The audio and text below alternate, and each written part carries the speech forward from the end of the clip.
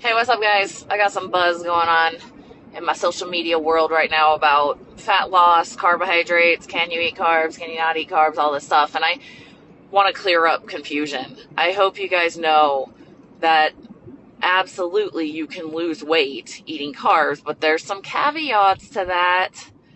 So I want to make sure that my people know, okay? And if you haven't read my book, Short Term Keto, if you do have my book and you didn't read the intro, read the freaking intro to that book.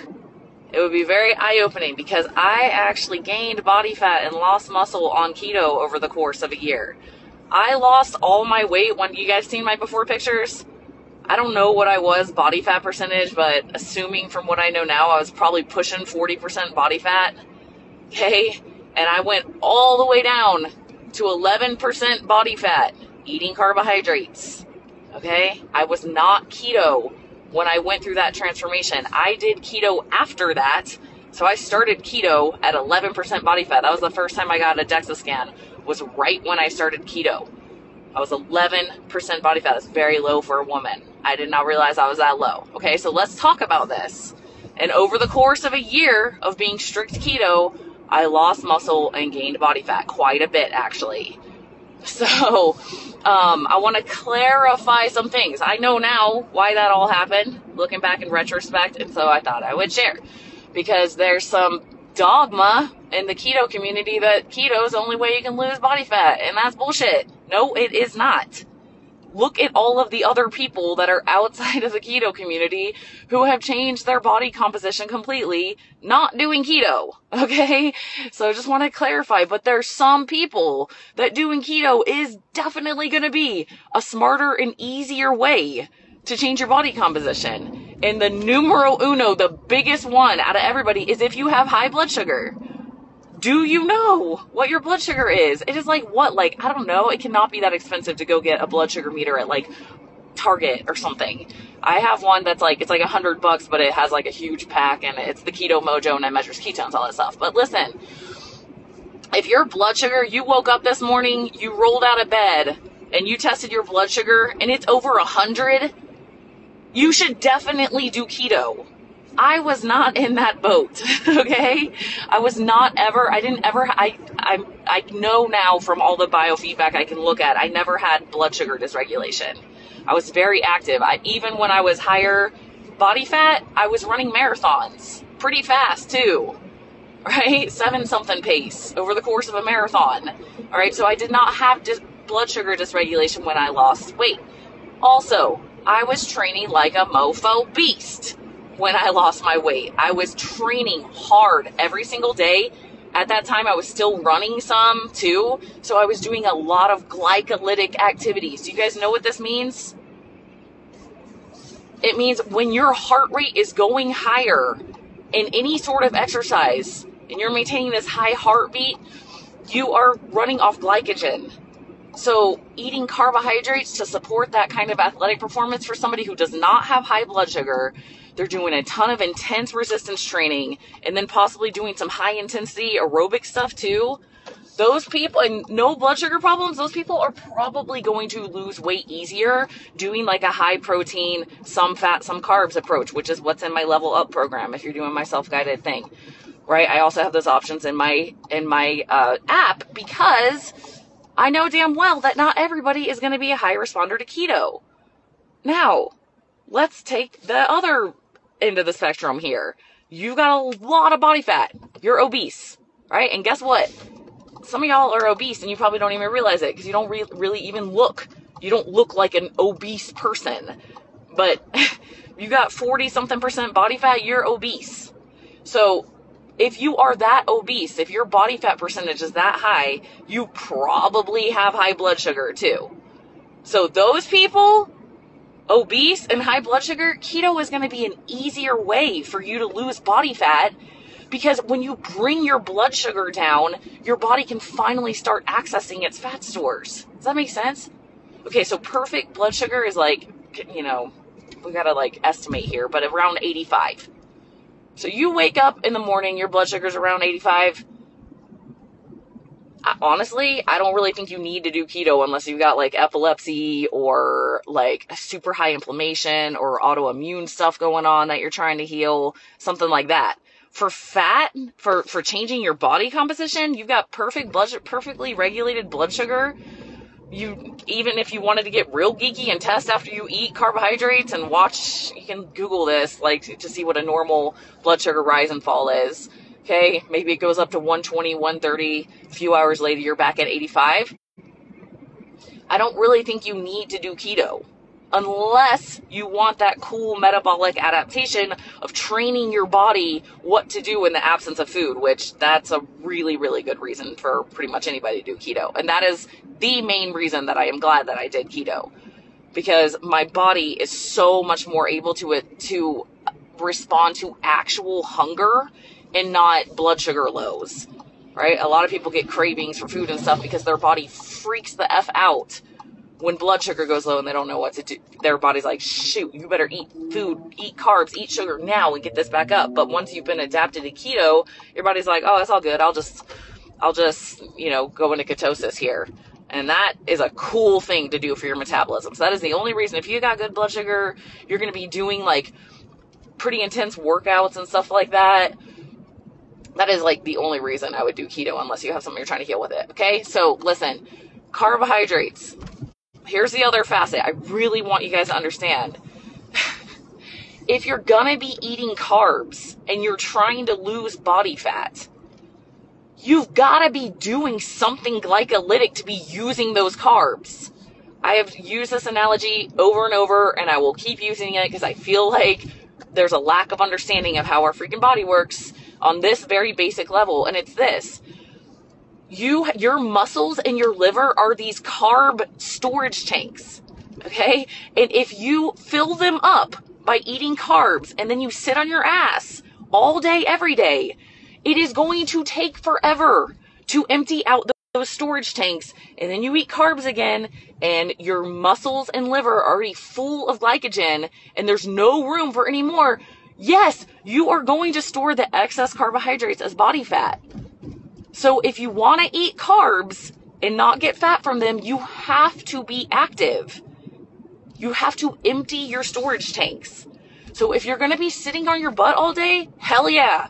I would not be eating very many carbs. I would be going keto or extremely low carb because the likelihood of you like using up what's in your storage tanks before you eat more is really low because when you're just sitting on your ass, it's going to take forever to use up those carbs that you stored.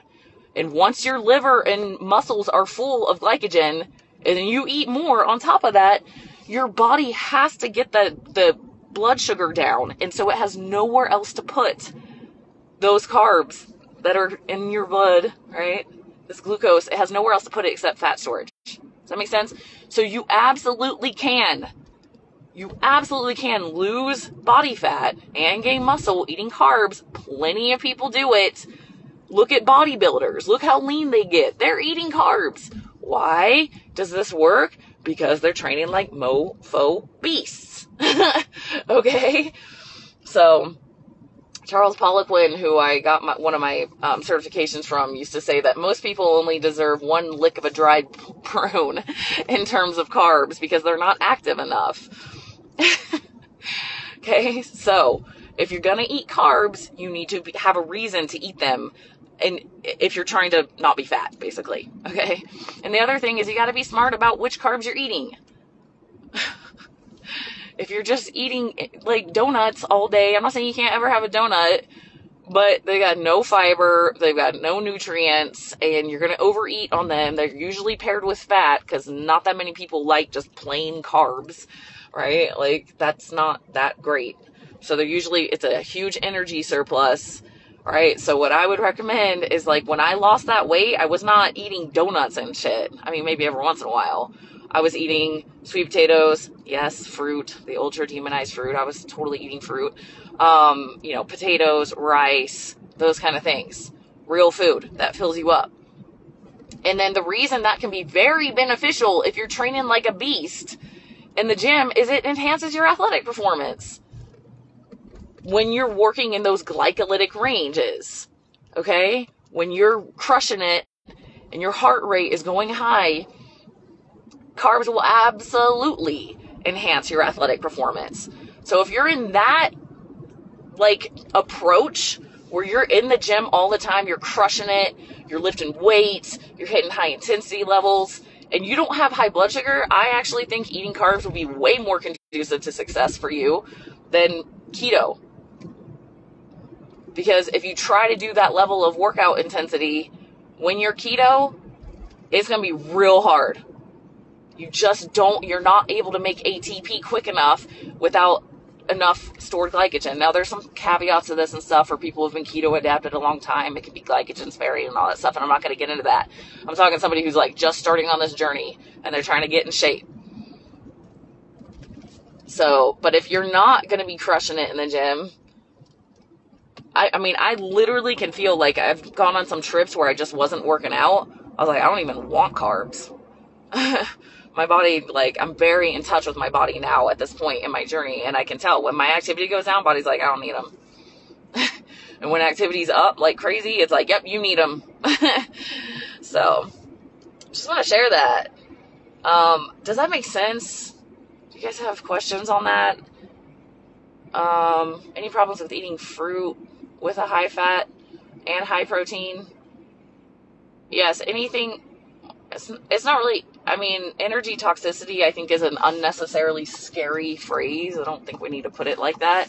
Just think of it this way if you're eating high fat and high carb, those are the two main energy sources for your body. Protein's not really an energy source.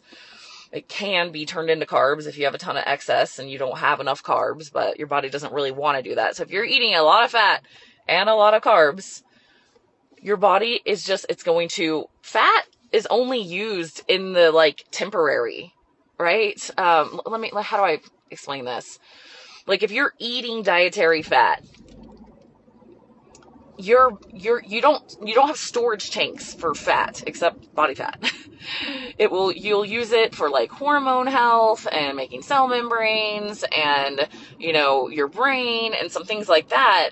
But whatever's left over, if you're not in ketosis, that's the only reason you would use it as like a main energy source in that moment. It would start getting turned into ketones. But if you're not, because you just ate carbs with it, your body has nowhere else to put it except fat storage. so if you're eating and you're eating carbs too, carbs and fat at the same time, you just it's just too much energy that your body doesn't need in that moment. And so it's going to store the rest as body fat. Your body fat is saving your life. I don't know if you guys realize that. Uh, Amy Sprouse, who was on my podcast, said it that way, and I freaking love that.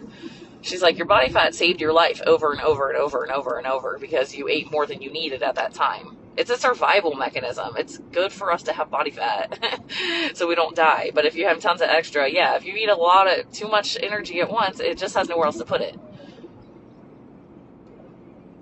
I don't, I don't, there's a lot of like scary buzzwords out there. I don't think we need to like look at it like that. It's if we look at it a little bit more logically with the body, it's just like our body is always trying to help us survive. Always.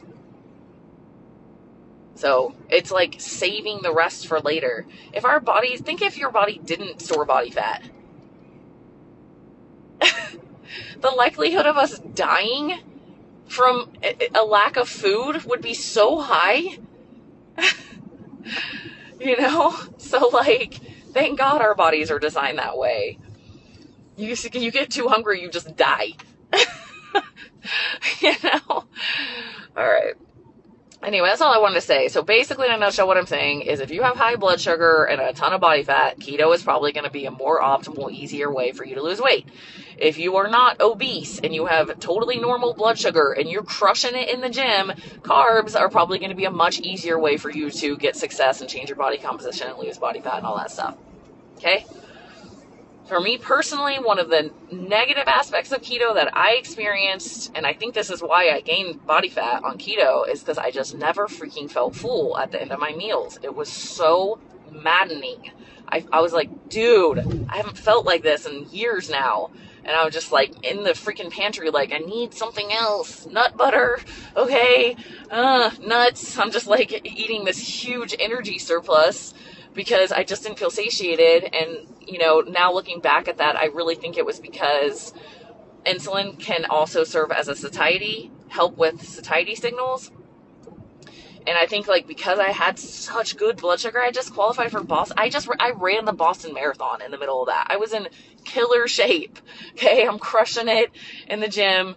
I had very very good blood sugar management before I ever did keto, and I think not getting that insulin at the end of the meal is what caused me to not feel satiated at the end of meals. Is my hunch on that because as soon as I started just eating some strawberries or whatever at the end of my meal, I was like, I'm good, and I felt back to normal. So just sharing. That's all in the intro of my book. I go really into detail with all my DEXA scans and what that whole process was like, okay? And I just I share this because I love keto, dude. I have clients on keto when it's appropriate for them. It's awesome. I've got a type 2 diabetic client right now. Hell effing yes, I have him on the keto. You know, when I get very obese clients, I'm definitely going to put them on keto unless they've had a ton of like binging, restrictive mindset around food. Like sometimes we got to heal that shit first. They're not ready to go with that kind of restrictive diet. But if your blood sugar is whack and it's going high and low from carbs and you're getting those lows, you're going to feel like you just don't have any self control, but it's a biological thing that's going on where your body thinks it's dying. so that's why so many people who are pre diabetic and most of them don't even know it. You know, they estimate that 88% of the pre-diabetic people in the United States don't know they're pre-diabetic. It's bad, dude. I've had people where I'm like, dude, they're borderline diabetic. Like, I might need to send them to the doctor. Right? They had no idea, dude. And they think that they just have bad willpower. so, anyway. All right, I'm going to go. Just wanted to share that with you guys. Carbs can play a role in a fat loss journey for the right person. Keto can play a role in the fat loss journey for a right person. So, sorry to not give you some super dogmatic, this is the one right way for all humans, but in my opinion, that is the most. how do I say? It's low level thinking. I don't know how else to say it. It's not. it, it sells it sells really well on on the internet, but it's not true or doing a service to people because then when they try it and it doesn't work well for them, they're like, "What's wrong with me?" And I don't like that shit. So, just trying to give you guys a little bit more info on that. Okay, have a great day, guys. Bye.